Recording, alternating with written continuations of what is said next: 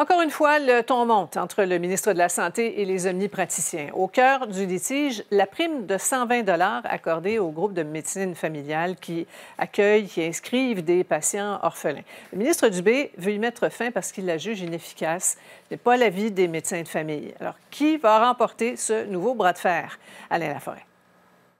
Le ministre est catégorique. Oh, le gap est là pour rester. Début avril, Québec a informé la FMOQ qu'il n'allait pas renouveler l'entente avec les médecins de famille qui permet à plus de 900 000 patients d'avoir accès à un rendez-vous via le guichet d'accès à la première ligne.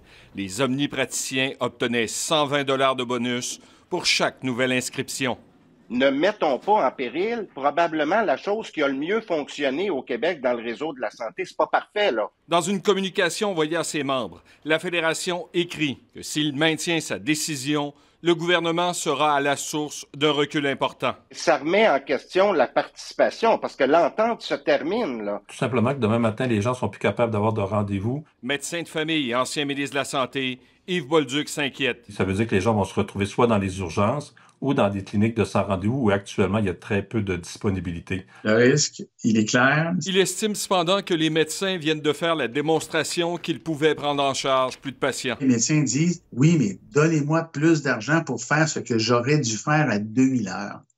Alors il a raison de le retirer. Comme l'entente se termine le 31 mai, le ministre en appelle au sens du devoir des médecins.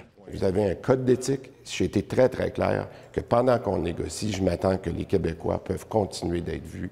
Christian Dubé veut que les malades soient vus. On a tout fait ça pour augmenter l'accès aux patients. Alors, mais écoutez, s'il n'y a pas plus d'accès, il n'y aura pas plus d'argent. Là, on est à un mois de la date fatidique où il y a 900 000 Québécois qui pourraient perdre leur accès. Puis le ministre nous dit Non, non, inquiétez-vous pas, ça va, ça, va, ça va bien aller. Il n'y a aucune garantie qu'il va y avoir une entente d'ici le 31 mai. Les oppositions le somment de continuer à payer la prime aux médecins. On va aussi mettre à mal et mettre à risque le nouveau système dont on se vante qu'il fonctionne sans avoir les données pour le prouver. Le feu est pris dans la cabane.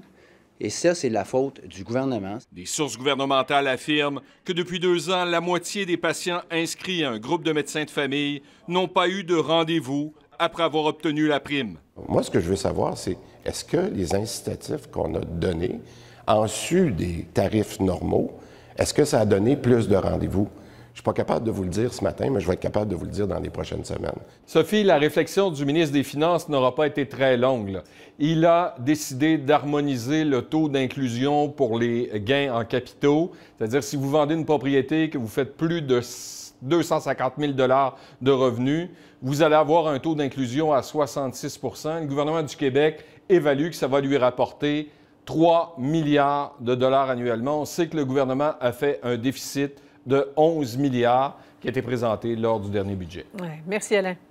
Il n'y a pas de quoi.